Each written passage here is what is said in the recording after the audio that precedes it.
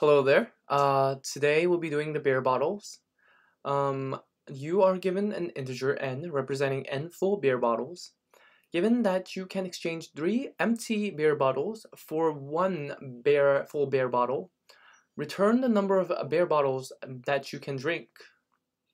Alright, so um, we want to know how many uh, beer bottles that we can drink. So um, drinkable beer bottles equals zero. Uh, we also want to set, um, we want to record the number of empty beer bottles.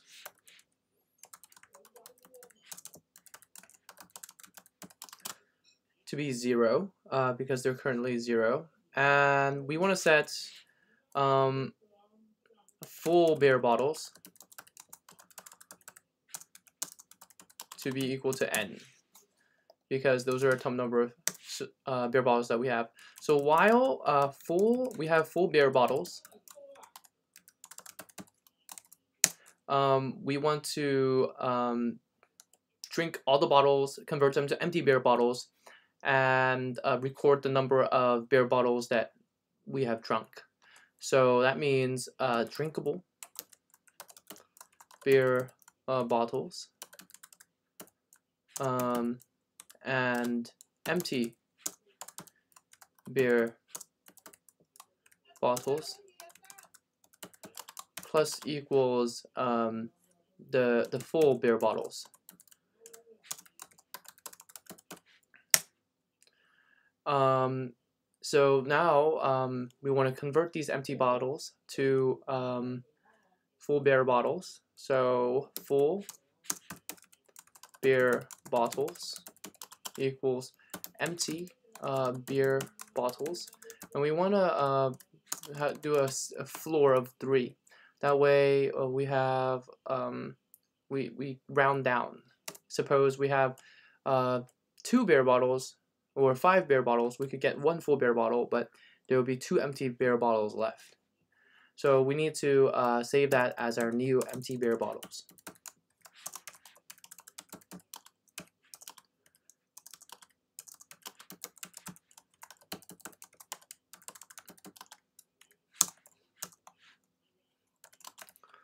Um, this, we can return the number of drinkable beer bottles.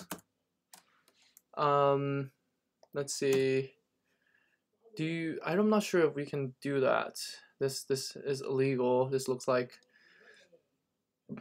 Mm, we'll, we'll separate these. All right. I think that should be it. Um, run the code. Looks like we have an accepted test case. I think we can submit it now. And we have a solution. And that's all. Um, yeah, I've been just really thinking about this syntax. Can we do this? Hmm, maybe if we do, let's try this one. I can I can probably make it one line. Um, com combine these two, but it'll be like, uh, so it'll be like this equals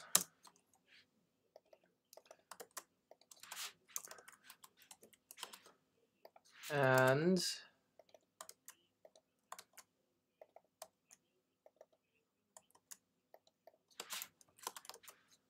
it's pretty long. Uh, let's see. Run. Aha, it still works. So what's going on here is that um, we, we just we just kind of set it to be a really long um, assignment. Um, okay, well, uh, that's all for this video. Uh, thank you for watching. If you have any comments or questions, leave them down below. I'll get to them when I get to them. Um, if you like the video, please like the video. Uh, if you want more videos, uh, please subscribe. Um, I think that's all. Uh, thank you very much. Have a good one.